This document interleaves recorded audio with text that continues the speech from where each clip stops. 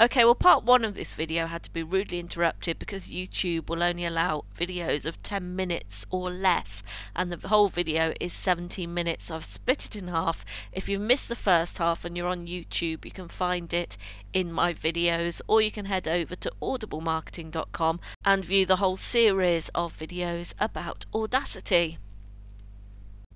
Now I want to put an outro in. So I want the same music, but I want it to fade up at the end and play us out of the podcast. So again, I'm going to go to project, not file, import audio, and I'm going to import Pimp Juice again. I'm just doing this so I can say Pimp Juice basically. So click open. And it will bring that file in again only in its original state. So again, we've got it very loud there. Now we can move these. Now that these two are aligned the way we want them, I'm going to move this one up. Makes no difference.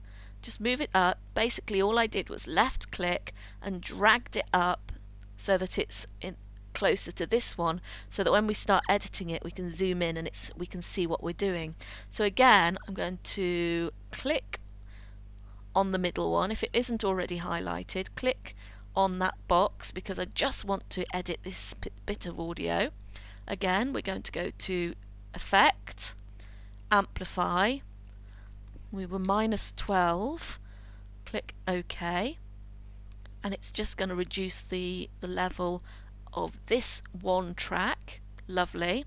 And now the next thing we need to do is fade it up.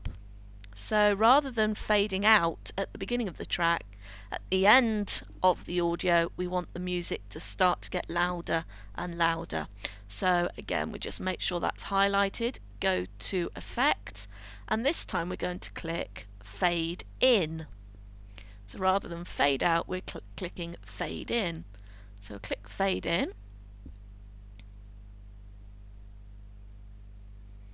And as you can see, the audio has changed. It goes from quiet to loud. So, and I'm going to do it a second time because as I said, this is a particularly long piece of music and I don't want it playing for too long.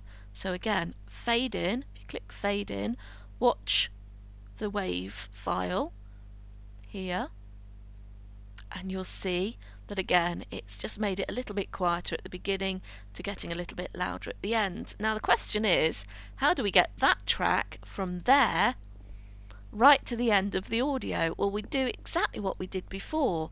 We're going to go to we'll, we're going to go to the end of the audio, we're going to zoom in and we're going to pick a place that we think it sounds like um, would be a good place to start bringing the music in. So I'm just going to click play. Of course, it will also depend on the length of time you've got left and the length of your music track.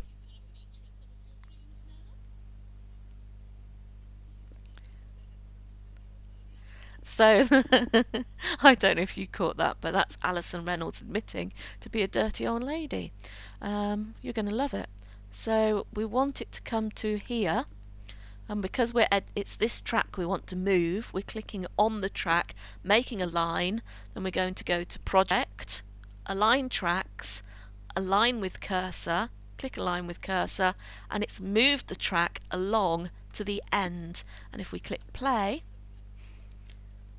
at the moment I can't hear any music playing because of course we've we've set it very quietly it's all going to fade up but now it's gradually, I'm just starting to hear a tiny bit of music on my headphones. And it's going to fade up. I don't need to hear any more of uh, Alison's laughing. So when we get to this point and I say, you know, at the end of the interview, click play again,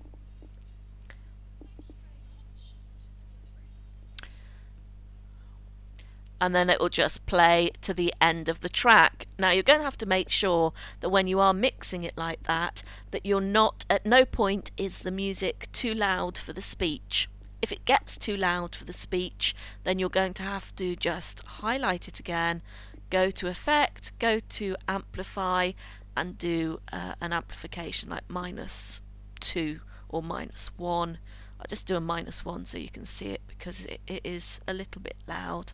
Or you can do the effect again of fading in just to make it, depending on how long the track is, you might find that another fade in uh, would be a good idea.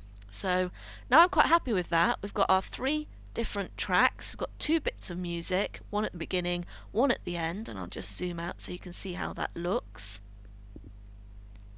And if I just, I just have to move that down, you'll see that we've got the intro here, we've got the outro music here, and we've got our main recording there. So now you want to mix it all together. In order to do that, you need to select all three tracks. So go to the first box, put your finger on the shift key and click on the box. That's highlighted that one. Um, if that wasn't already highlighted, I've just unhighlighted it. Click it again and that's uh, made sure that one's highlighted. And we want this one as well. Click it and it will highlight it. And then you're going to go you can take your finger off the shift key at this point. You're going to go to project and go to quick mix. And just quick mix the track. It's going to take a while so I'm going to pause it and come back to you in a moment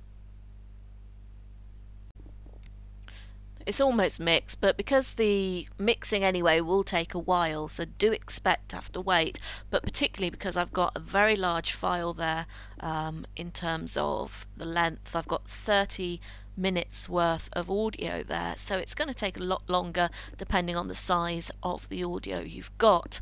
So that's just about mixed down and you'll see as soon as it mixes it'll just become one track so basically, it will take the three tracks and I was going to say mix them together, but that doesn't explain it. Basically, squashes them together uh, exactly how you wanted them to sound next to each other. And there we have one complete track. And if you were to listen and click play, you'll you get the music at the beginning that will lead into the speech, and again at the end.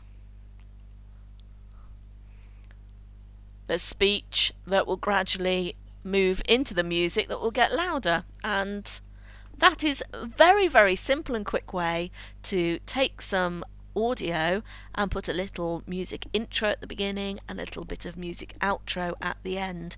And as I said, I bought my track from productiontracks.com, who I use for most of my royalty free music. And when you buy it, you simply buy and download it as an MP3. You don't need any of the extras, just save it to your computer as a file, and then you've got it to work with in the future on Audacity. Now, one final thing we're going to say file export as MP3 and we don't want it in that file. We want it actually we will save it in our audio file because that's a useful place to put it. And we're going to put that that's um, let's call it uh, SWBN podcast 1 and we just click save and we can put in a title artist album. Not going to worry about that at the moment, just click OK.